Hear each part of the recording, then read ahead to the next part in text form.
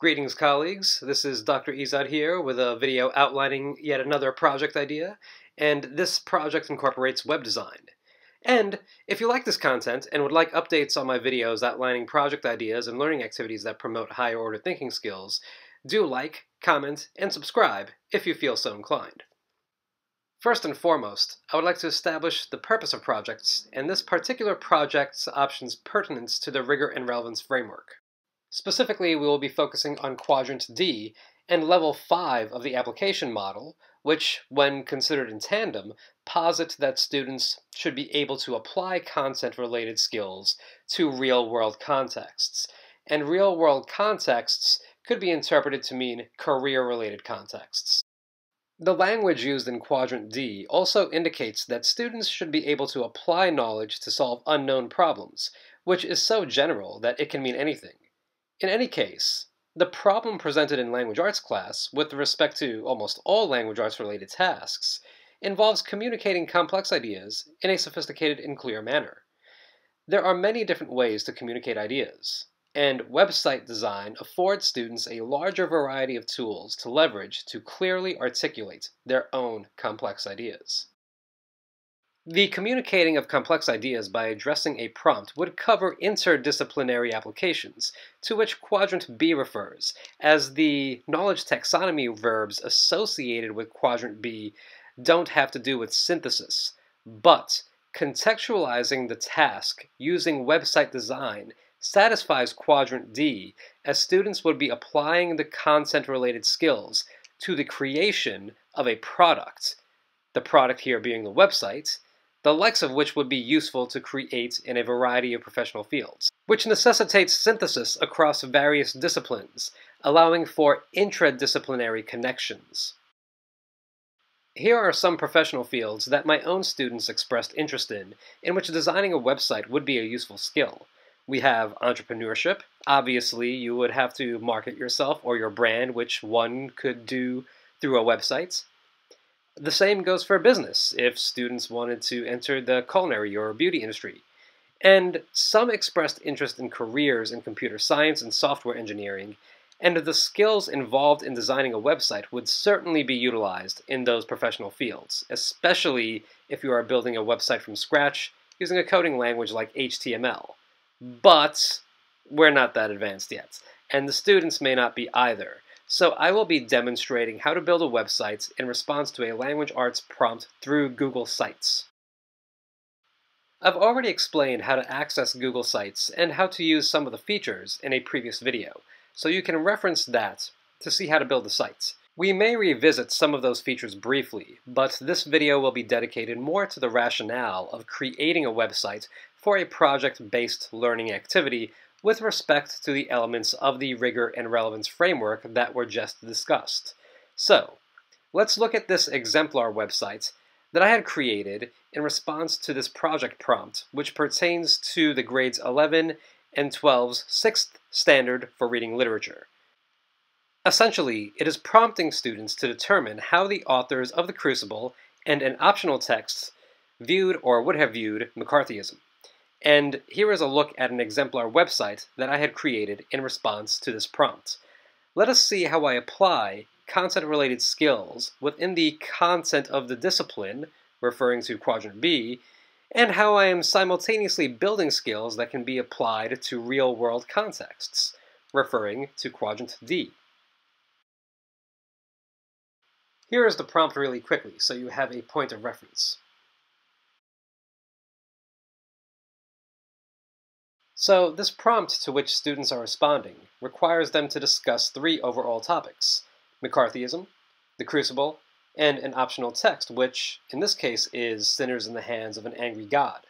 And obviously, in a website, regardless of what it is about, one would have to organize the information through separate pages in their website, and those pages would have to be easy to find and navigate through. As such, they would be learning how to create multiple pages in a website, along with some principles of design, such as human-centered design. And of course, websites afford people the opportunity to communicate their points in a variety of dynamic ways. So you see I have this background with images overlapping one another to represent how the author of The Crucible viewed McCarthyism, which is the question that is being posed by the prompt. Essentially, this image is indicative of the notion that the author of The Crucible thought that the practice of making accusations and punishing based simply on the accusation, represented by the supposed witch in the chair, is tantamount to destroying a community, and destroys the very fabric from which America is made, symbolized by the burning flag in the background. And down here, I have this image carousel, which essentially does the same thing. It's just a series of images that represent various topics and points that are being explored and made in this website. And right next to my image carousel is an introduction to the website, which would act as my introductory paragraph in an essay in which I introduce and connect all of the topics that will be discussed and the ideas being presented in the website. The lattermost item being the claim that is made in response to the prompts. And down here I have buttons that link to the different pages denoted in the page navigation at the top of this page. So this is yet another feature of building websites that students would learn. And again, human-centered design principles are simultaneously being learned, as there need to be signifiers that denote clickable elements, and buttons are excellent features to denote that. Over here, I have one page dedicated to explaining what McCarthyism is, which is yet another skill associated with writing explanatory texts. And I have a video embedded in this page explaining what McCarthyism is, with a small blurb summarizing the video on the bottom. This is indicative of another element of web design students would be learning, as they would be learning how to embed videos into a web page.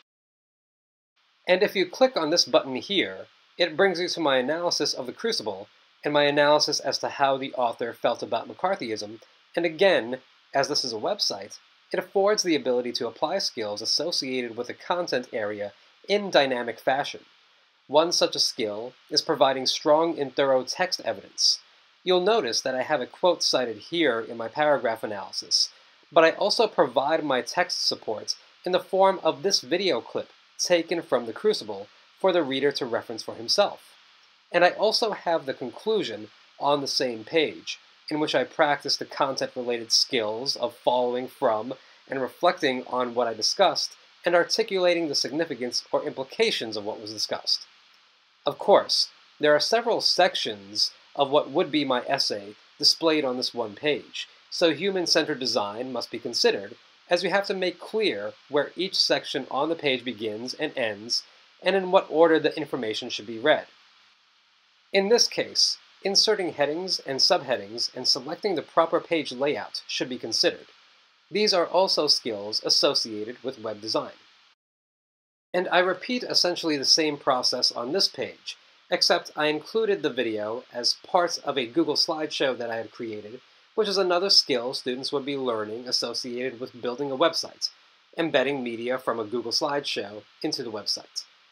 I did do something additional here and manipulated the sound on the video to make the narration sound more sinister, which, coupled with my analysis on the side here, simultaneously communicates how I think the author of Sinners in the Hands of an Angry God would have viewed McCarthyism, and my personal opinion on that perspective.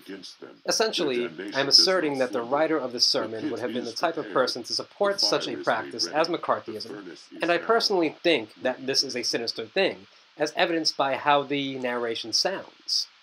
This is indicative of what I state in my conclusion as well. As I said before, the medium of the website affords vast and dynamic ways to communicate ideas. And aside from learning skills associated with web design that can be applied to the different careers of which I had previously made mention, they can learn other skills associated with other types of media, like video production, and skills pertaining to human-centered design, which can be utilized in a variety of other professional contexts. As such, if these are the purposes of PBL, providing students with the option of communicating ideas relevant to the content through creation of a website is an excellent way to satisfy these purposes. And if you like this video and this project idea, feel free to take a look at some of my other videos on project-based learning activities that contextualize content-related skills within the profession of video game design using the Unity game design engine. And, as always, if you find this content useful, I invite you once more to like, comment, and, if you feel so inclined, do subscribe.